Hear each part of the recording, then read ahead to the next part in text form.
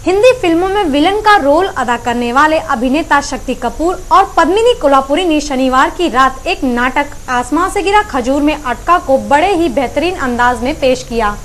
से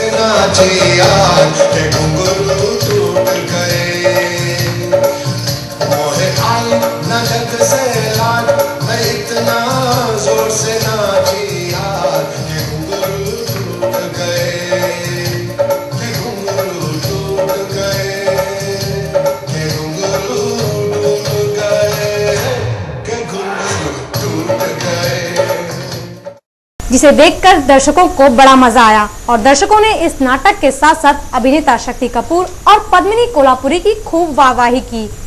खैर, इस नाटक में शक्ति कपूर ने लोगों को खूब हंसाया। तो आइए जानते हैं इस नाटक आसमान से गिरा खजूर में अटका के बारे में शक्ति कपूर से। ये मेरे प्ले का नाम है आसमान से गिरे खजूर पे अटके। आप ये प्ले अवश्य देखें और बड़ा मज़ेदार है। ये तीन आदमी, तीन, उन लोगों की कहानी है जो मरने के बाद जिनकी आत्मा ऊपर आती है और तीन आत्माएँ कैसे मिलती हैं और मरने के बाद की क्या ज़िंदगी होती है उसके बारे में है। मरने के बाद की ज़िंदगी शायद जो हमारी असल ज़िंदगी है, उससे भी अच्छी है, इसलिए मरने से डरो मत। सी ट्वेंटी न्यूज़ के लिए आनंद के साथ लक्ष्मीकांत राय की रिपोर्ट।